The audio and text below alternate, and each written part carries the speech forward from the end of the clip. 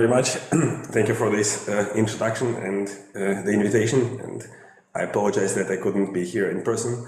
I hope you can hear me well and see me well. So maybe one disclaimer, I'm a computer scientist. So the field of clinical trials and medicine is something that is of extreme interest to me, but uh, I'm not an expert, so I will show some results of our collaboration uh, with uh, my colleagues who are experts in uh, this domain. But yeah, you, uh, I hope the inspiration will come more from the methods rather than uh, the results, and I will try to keep it lightweight and and and entertaining. So my main research interest is in what we call geometric deep learning or machine learning on graphs. As uh, you know, um, graphs are mathematical abstraction for uh, complex systems of relations and interactions, and you can really apply these models to uh, at different scales in biological sciences, in particular from modeling individual molecules, so compounds uh, like uh, drugs, so small molecules, as well as bigger molecules like proteins, which are typical uh, drug targets, as well as more complex, higher level networks of interactions of these compounds, what is called um, uh, interactomes. So uh, what I will show you today is research that I'm doing um, with multiple collaborators, in particular at Imperial College, where we try to apply these techniques uh, and borrowing ideas from uh, drug repurposing and drug repositioning to the domain of food. And uh, we call this uh, hyperfoods. So basically how to design disease-beating nutrition using machine learning and artificial intelligence. So I hope I don't need to tell you, you're experts in clinical trials and you know that uh, in the recent decades, we have experienced a massive growth of chronic diseases, which includes cancer, diabetes, heart diseases. And one of the reasons is that we, uh, our population is rapidly aging, so the problem is getting uh, even worse. Uh, it has huge impacts on the cost of healthcare and uh, necessitates uh, maybe adoption of different business models moving from so-called sick care to real healthcare that will be uh, preventative. And one of the problems that you can attribute these uh, developments to is uh, our poor dietary choices. And there are multiple studies. One of them is quoted here from Lancet from three years ago, that um, unhealthy diets are responsible for approximately one out of five deaths globally. So in 2017, that was around uh, 11 million lives. And uh, this is, if you compare, more than from smoking cigarettes. And uh, what is more interesting is actually that uh, you would think that it's the junk food that is killing us, but in fact, it's the absence of uh, healthy ingredients, healthy foods such as vegetables and fruits, that we don't eat rather than unhealthy, uh, maybe foods that are full of sugar uh, and uh, highly processed foods that, that, we eat. And if we take as an example oncological diseases, so roughly half of us will develop cancer at some stage of our life. So again, it has to do with the fact that we live longer. But it also appears, and uh, this is also evidence-based research, that about 40% of all cancers could potentially be prevented only by dietary and lifestyle choices. So this is a huge number. So this is probably one of the, the most important uh, interventions that uh, probably every every one of us could uh, introduce and save uh, a lot of problems, uh, not only to ourselves, but to the entire healthcare system. And if you look at the state and progress in nutrition science, it has made really excellent pro progress over the past decades in analyzing six major nutrition categories, which are obviously proteins, carbohydrates, fats, minerals, vitamins, and water. But there is increasing evidence that we have lots of other molecules from a variety of chemical classes that uh, might have effects in preventing and fighting diseases. And uh, in plant foods, for example, these chemicals are responsible for the color, the flavor, the odor, such as the dark hue of blueberries or the bitter taste of broccoli or the unpleasant smell of garlic. And uh, the majority of these compounds are uh, unknown even to experts, uh, let alone the broad public. They are not tracked by regulators. So you will not, for example, find on the food packaging the, the content of flavonoids or uh, terpenoids that they have in, uh, um, in your food. And it's not surprising for drug developers among you that uh, many drugs actually come from the plant kingdom, and this is also sometimes reflected in their names. So if you take oncological chemotherapy, uh, a compound that is called camptothecin, for example, it comes from, uh, is extracted from a tree that grows in China called Camptotheca acuminata, and uh, four of its synthetic analogs are currently approved for uh, as chemotherapy agents for certain types of cancer. Now, the problem with uh, nutrition is that it's extremely complex. So it has untapped potential and uh, really a dark matter that, that, that we don't really understand and we don't know what it does. But uh, it is extremely complex because uh, every bite of food comes with hundreds, if not thousands, of biologically active molecules. They also interact with each other uh, and with other biological processes uh, in our body, uh, with the, the bacteria in our intestines. And that, this is all makes it very difficult and complex to analyze. And the experimental approaches that, that are traditionally used uh, take a, very reductionist approaches. So you study the effect of single molecule on maybe single uh, pathway at, at, a time, and given the humongous amount of all the possible combinations and all the possible interactions, uh, this is really uh, intractable. So it's the analogy that my collaborator Kirill Veselkov from Imperial College makes is it's like using the bike to explore the galaxy. So it's uh, intractable. But what happened over recent years and what gives us hope uh, in these problems is, first of all, breakthrough in high throughput uh, molecular technologies, well, in genomics, in uh, high throughput chemistry that allows to, to make automated experiments uh, on a very large scale, including, for example, CRISPR uh, uh, perturbations, so allowing to understand the molecular machinery inside the cells that cause disease and, and how it can be used to, for developing new therapies uh, as well as uh, uh, also testing different chemical compounds. And this created rapidly rapid growth of available data sets, some of them are also available in the public domain, that go way beyond the human capability to be analyzed. So we need really uh, machine learning and artificial intelligent computer-based techniques in order to make uh, some sense out of all this humongous amount of information. And uh, what we are trying to do with Hyperfoods project is to use uh, AI, even though I don't like uh, this term, better say machine learning, so basically data-driven uh, techniques that will allow us to identify these compounds and uh, predict their properties and put them to use in uh, nutrition that could help us prevent diseases, different type of diseases, but in particular oncological diseases. And of course, uh, given that we are talking about food, we also want this food to be pleasant and tasty and, uh, and rewarding. Because, well, this is one of the, the, the, great joys of our life.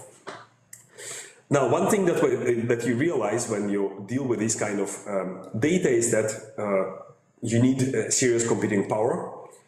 And uh, this is actually where computer science uh, has made huge progress. So you may know that computing power approximately doubles every two years. This is called the Moore's Law, uh, uh, named after one of the founders of uh, Intel, one of the, the biggest uh, semiconductor manufacturers. And nowadays, your iPhone is more powerful than all the NASA computers that have put a man on the moon in the, the 60s.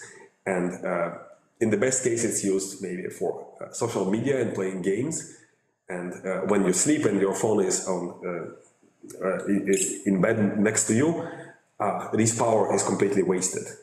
And uh, what, imagine that what could be if we could combine the idle power of thousands of smartphones uh, to create a, a, cluster, a virtual supercomputer that would allow us to help uh, uh, crunch complex data. And this is what we did in partnership with Vodafone Foundation. So we deployed machine learning using the DreamLab application. So it allows users, uh, citizen science, sciences, uh, scientists essentially to contribute the idle power of their phones.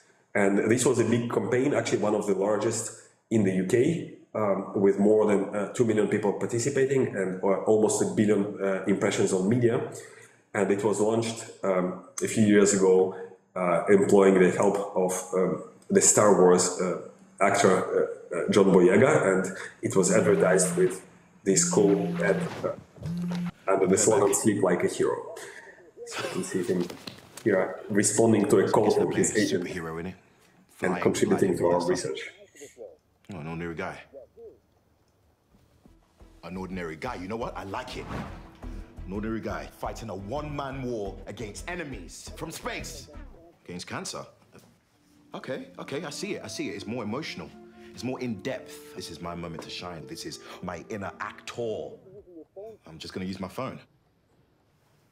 I'm just gonna use my phone. One man, one goal, one phone. I like it. I'm gonna be a sidekick to an app that helps to fight against cancer while I sleep. You know what? I'm in. Oh, I'm in. Hey, I'm John Boy. I'm John. I'm John So that was a few years ago. Well, and as I said, uh, there are multiple, uh, uh, almost 2 million people contributing uh, to this platform, uh, basically donating their idle power of their phones and as well as also sharing their experience. Some of them are uh, cancer patients or cancer survivors. Now, um, besides the computational complexity that I mentioned, another challenge that you need to deal with is also the complexity of the data itself. And uh, as you know, human biology is governed by an intricate network of molecular interactions, the interactome, and we have around 20,000 proteins that are encoded in our genome and uh, many millions of uh, interactions between them. And drugs are designed uh, to interact with this network by binding to typically to protein targets. And due to the network effect, uh, this activates and disrupts multiple uh, biological processes kind of uh, pieces of domino uh, that fall uh, if you touch one of them. And uh, even though the classical uh, mindset of drug therapy is you have one disease, you have one target, and you develop one drug that, that uh, tries to, to target this, this particular protein. In fact, I think the number that I, I've seen on average, a drug will bind to something like 50 or 60 different proteins. And again, because everything is interconnected, the network effect can be almost unpredictable. This is one of the complexities of drug therapy that uh, everything uh, interacts with each other. And uh, these interactions are way too complex to model by hand, and instead we can use machine learning to infer them from the data. And the problem is that traditional machine learning methods that work well with, for example, image or uh, images or audio, and that there has been huge progress in the past decade, they are not designed specifically to deal with uh, network or graph structure data. And uh, this is exactly where uh, my uh, research expertise and research field comes. So we are working on developing methods such as graph neural networks that allow to take input that doesn't have the, the traditional structure of images or text or uh, these kind of signals, but uh, they can work on uh, networks and graphs. And it allows us to, to learn the network effects, for, for example, of clinically approved uh, drugs uh, to predict anti-cancer drug likeness or any type of uh, drug likeness uh, from the way that the molecules interact with biological networks. We can also, of course, use graph neural networks to um, apply them to the molecular structures themselves, basically molecules modeled as, uh, as graphs. But I will talk about it uh, later if I have time. And then we can apply this model to look for anti-cancer drug-like molecules in food so, uh, as I mentioned, uh, food contains many compounds uh, that come from uh, chemical classes that are similar to those used in, uh, in therapy. And uh, our model was fed with thousands of food molecules. So, so we first train a classifier that allows to predict anti-cancer drug likeness using FDA-approved anti-cancer drugs. And then when we run this model on molecules coming from food, we are able to discover compounds uh, that are likely to have anti-cancer effect, and uh, these are candidates such as flavonoids, so this is the family of compounds that give fruits and vegetables their color, for example. And uh, at this point, we have candidates. So, uh, as you probably know, in clinical trials or in drug development, this is only the beginning of the story. So, the traditional approach would be then to do uh, experimental confirmation of the effect and the potency of each such molecule. And usually it's a process that uh, takes multiple stages, uh, years of uh, research and developments, and sometimes goes uh, uh, into decades and uh, might cost billions of dollars. So instead we wanted, well, obviously we don't have these resources, we wanted to see if we can use also machine learning techniques to mine the, the trove of experimental literature that exists, uh, uh, animal and human studies, uh, medical literature, to back up uh, our discovered anti-cancer candidates. And uh, the amount of scientific literature on cancer in particular is enormous. So uh, I started talking maybe 10 minutes ago. In this time, on average, there will be two new papers that are published on cancer. So we're dealing with the amount of data that no human can ever single-handedly process. And therefore, uh, we used uh, natural language processing techniques that allowed us to look at the candidate molecules that, that we identified and link them to um, anti-cancer uh, mechanisms such as anti-proliferation uh, or uh, um, anti-angiogenesis and other types of effects that are associated with typical anti-cancer drugs. And basically, we use these to confirm, again, from medical evidence uh, of different, obviously different uh, level, whether it's in vitro or, or, or, clinical studies, of the effect of some of these molecules, and this allowed us to construct uh, what we call a food map, representing the ingredients with the largest amounts and diversities of these uh, cancer drug-like uh, compounds. And we found, uh, maybe not surprisingly, that common and even boring foods such as cabbage or tea contain significant amounts of uh, anti-cancer drug-like molecules. And again, this is not surprising. So tea, for example, is rich uh, a rich source of uh, catechins and uh, terpenoids and tannins, and uh, it is known that they, they have strong and complementary anti-cancer effects, for example, reducing DNA damage, suppressing inflammation, inducing apoptosis and cancer cell cycle arrest. So many of these mechanisms that are also exploited for, uh, for cancer therapies. And there are several recent meta-analyses that demonstrate that, for example, the consumption of green tea leads to uh, delayed cancer onset, uh, lower rates of cancer recurrence after treatment, and increased rates of long-term remission. So it's not that, that uh, we're making it up, it is really uh, corroborated by, uh, by clinical studies. Now, of course, to say that this is, that, that's where the story ends, I think it's just the beginning. So one of, uh, one of the issues is that, okay, let's say that we found that cabbage might be good and might have preventative effects against cancer. What, how do you use it? What do you, what do you do with it? So you need somehow to put all this evidence together and one of them comes to the fact that we don't have a single compound. Again, it doesn't work in isolation. Uh, there are multiple compounds that interact and uh, so this is um, a figure from a study that was published in Nature about 20 years ago. So they studied the, the anti-cancer effect of apples and it appears that apples uh, with the, the peel with the skin on it have better anti-tumor effect by like over 10%. And uh, the reason is that uh, it's, it's attributed to interaction of different compounds that are contained in the, the inside the apple and on the, the, uh, outside of the apple, and that, that have synergistic uh, positive effect.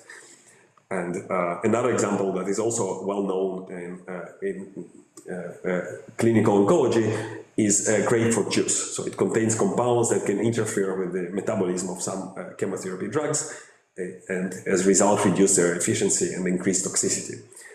Uh, so what is completely lacking, uh, from my knowledge at least, in uh, the types of cancer that we're looking at, is uh, any serious and uh, thorough research uh, Uh, on, for example, nutrition guidance for cancer patients uh, that would allow to avoid antagonistic interactions, but also hopefully uh, will allow food um, to have synergistic interactions with the drug molecules uh, allowing the food to act as uh, co-therapy. And this is also something that is uh, now becoming a popular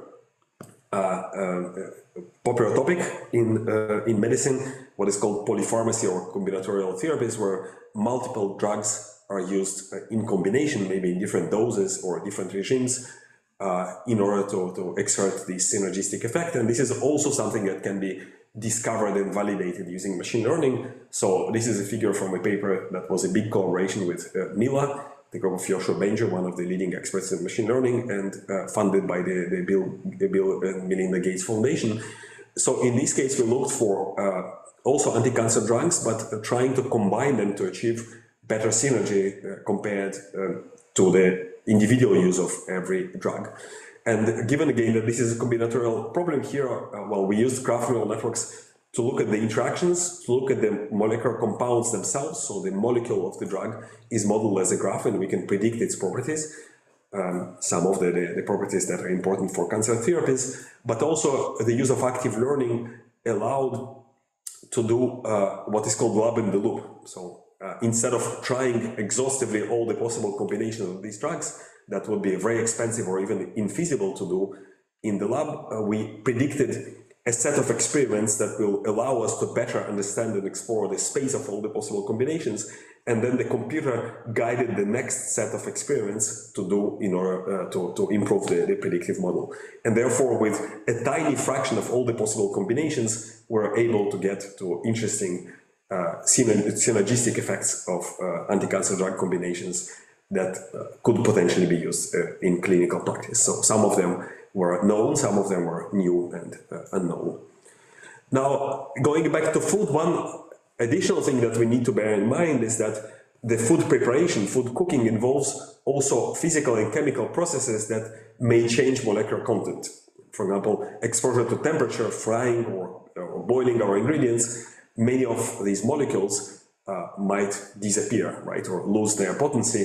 And that's uh, why we, if we want to, to design recipes or dishes out of these ingredients that we can identify with machine learning, we can also use machine learning to try to identify such processes that affect minimally the uh, um, the molecular content uh, or the good stuff that, that these ingredients contain.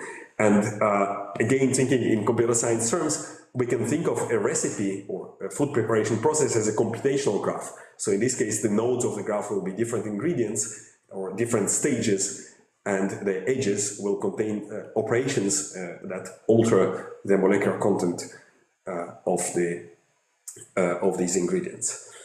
Now, obviously, we don't need to forget that in addition to these um, bioactive molecules, uh, phytochemicals, Food also contains uh, compounds responsible uh, for its uh, taste, smell, uh, characteristic flavors, and uh, many foods share such uh, components. And for example, you may find surprising, but the fact is that garlic and tea have more than 100 flavor molecules in common.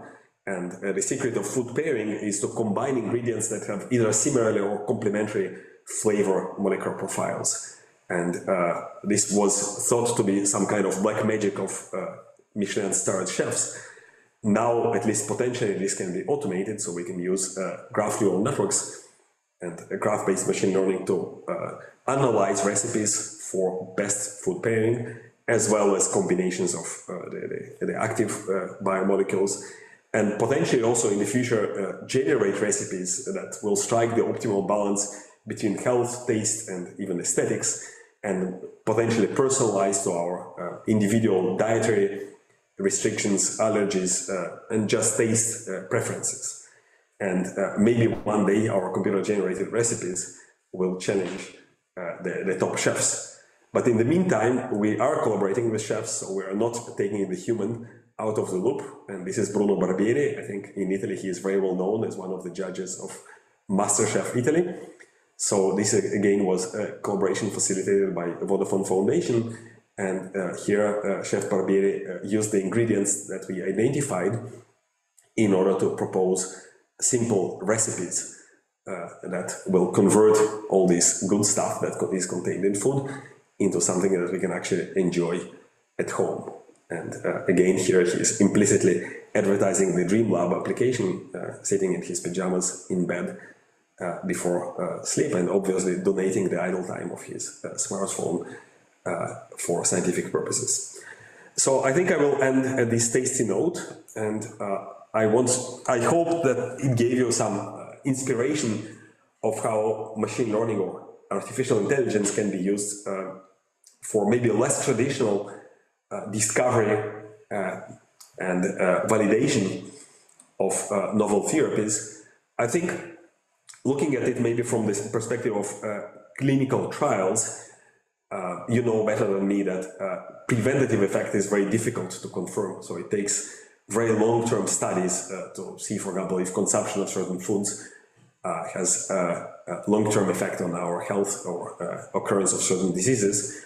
I think uh, this is where we should go if we want to really change the healthcare model. But probably what is much easier to do, and this is what we are now trying to do with our clinical partners in England, is to use food as co-therapy for example, uh, to develop nutrition guidance for cancer patients, what kind of foods could have synergistic effect with uh, with the, the anti-cancer therapies that are subjected to if they have cancer, uh, or at least uh, foods to avoid uh, in order to avoid antagonistic effects. And again, we can incorporate a lot of uh, more granular information, such as the genetic profile of the patient, genetic profile of the tumor cells, if we have access to it, and so on and so forth. And again, the common denominator here is network or graph-based machine learning techniques that allow to package uh, all these data into representations on which machine learning algorithms can be applied.